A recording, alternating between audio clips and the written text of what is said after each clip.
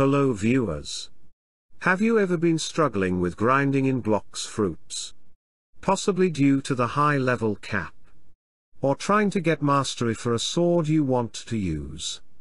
That's very relatable. Everyone has been in the same boat at one point or another.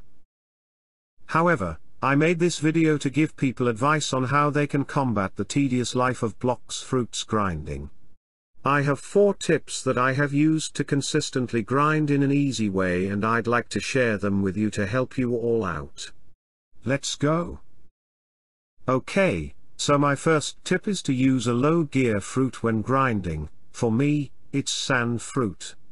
Of course, they give you an immunity to NPCs, so you don't have to constantly move around, to avoid dying.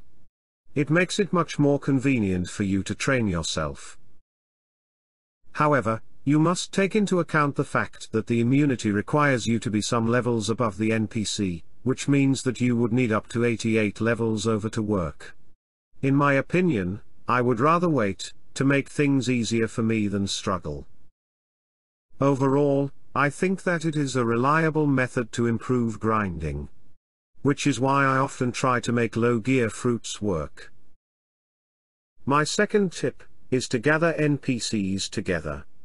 I find it to be quicker than killing them one by one, and it helps to get quests done in batches.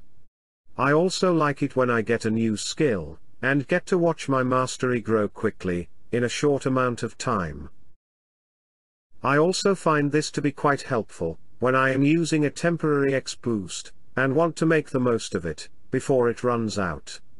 This may not be as useful for non-Logia users, because you can get jumped by NPCs, so it's not for everyone. My third tip, is to download an auto-clicker, unfortunately, this does not work for mobile or console players. It only works for PC players, so please skip if it does not apply to you. Before you worry about getting banned for auto-farming, you won't. Auto-clicking is separate and legal to use in Blox Fruits. It is OP for Logia users as well as Buddha users who also use it in PvP, which can be very annoying, if you want, you can use it overnight, at the expense of your electricity bills. I recommend not grinding at NPCs with the enhancement ability. It is very inconvenient.